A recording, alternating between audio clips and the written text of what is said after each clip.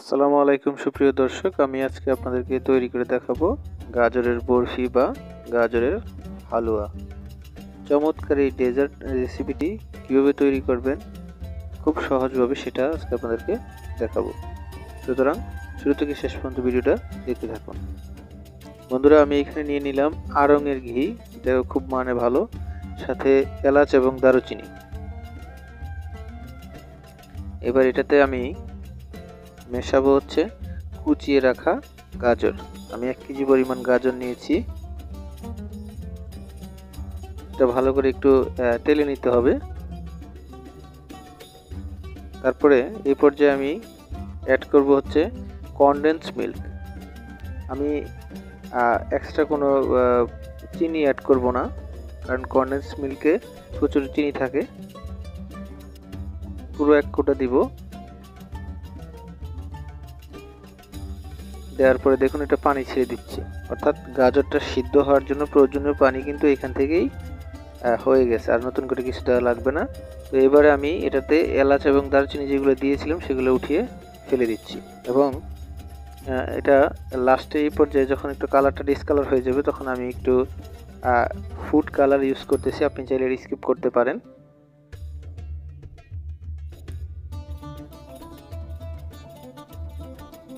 এবং কালারটা অ্যাড করার পরে আপনাকে ততক্ষণ পর্যন্ত এটাকে নাড়তে হবে এবং খুব লো হিটে যতক্ষণ না পর্যন্ত সেটা কড়াই থেকে অটোমেটিক দেখুন, কড়াই থেকে অটোমেটিক উঠে আসতেছে, অর্থাৎ কড়াইতে আর লেগে থাকতেছে না।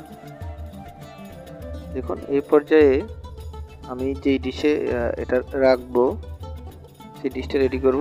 ডিশের মাঝে আমি ঘি দিয়ে, ব্রাশ দিয়ে ঘি লাগিয়ে নিলাম। এবার এটা রাখব।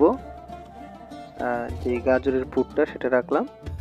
এবং আমি যেই নাইফটা দিয়ে কাজ করব, সেই নাইফটা তো আমি একটু ঘি মেখে নিলাম। এই ঠিক এরকম শেপে আমি এটাকে এখন প্রায় এক ঘণ্টার জন্যে ডিপ ফ্রিজে রেখে দেব। আপনি চিনিটা কম বেশি করতে পারেন। এবার আমি এক ঘণ্টা পরে এটা বের করে এনে, দেখুন আমি এরকম একটা দাগ দিয়ে নিলাম। আর এটা দিচ্ছি হচ্ছে কোকোনাট পাউডার এটা আপনি যে কোনো জায়গায় যে কোনো জায়গায় বাজারে পাওয়া যাবে। ড্রাই কোকোনাট পাউডার বললেই দোকানদার চিনবে ওটা আপনি দিয়ে দিবেন। দেওয়ার পরে এটাতে আমি জাস্ট এখানে দিচ্ছি একটা করে কিশমিশ আপনি চাইলে এখানে কাঠবাদাম পেস্তা বাদাম অনেক কিছু দিতে পারেন। এটা দেওয়ার পরে আমি আরেকটু কোকোনাট পাউডার আমি ছিটিয়ে দিচ্ছি। এরপরে এবারে খুব ধারালো নাইফ দিয়ে আপনাকে কাটতে হবে। দেখুন। এভাবে সুন্দর করে কেটে প্রতিটা পিস পিস আলাদা করবেন। এভাবে এক পিস করে আলাদা করে এই যে ঠিক এই পিসটাকে মাঝখানে রেখে